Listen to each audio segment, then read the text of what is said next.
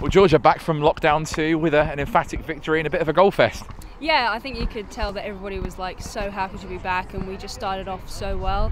I think it took us maybe a few minutes to get into our stride, but we were really like connecting and, and making the combinations, you know, close to goal, and we just seemed to be on fire today. Everybody was finding the back of the net, so that was great. I guess we've got to credit Harlow in some way because they were 4 0 down after 17 minutes, but showed great character to come back into the game and, and bring it back to 4 2. Yeah, they definitely didn't drop their heads, um, and once they got that second goal, you could, you know, they were definitely on the pitch like jeering each other up, saying like, you know, let's let's bring this back. So we needed to just refocus, and um, you know, there was no stressing from us, but um, you know, it was for a second there, we, we needed to make sure that we scored we scored the next goal. Bit of disappointment to concede the two goals in the manner that they happened.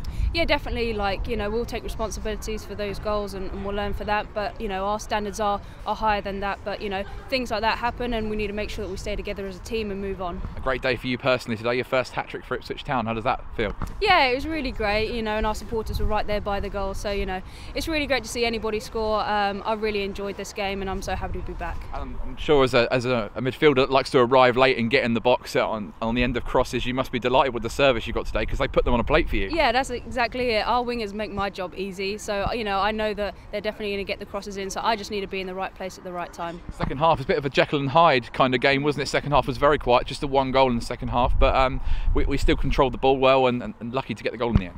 Yeah, definitely. I think sometimes we can get in our own heads, especially if the goal line is, is a bit bigger. So what we need to do is go back to basics and really just control the ball a bit more. So, um, you know, it was good. We saw out the game. Um, you know, no injuries, nothing, nothing major. So uh, we're really happy with that. Finally into the second round proper now, where the tier three teams come into it, and that's when uh, where things start to ramp up a little bit. Yeah, we're really excited to play. You know, possibly a team you know that's higher up than us and, and prove our worth. So I know that all the girls are excited for the next round.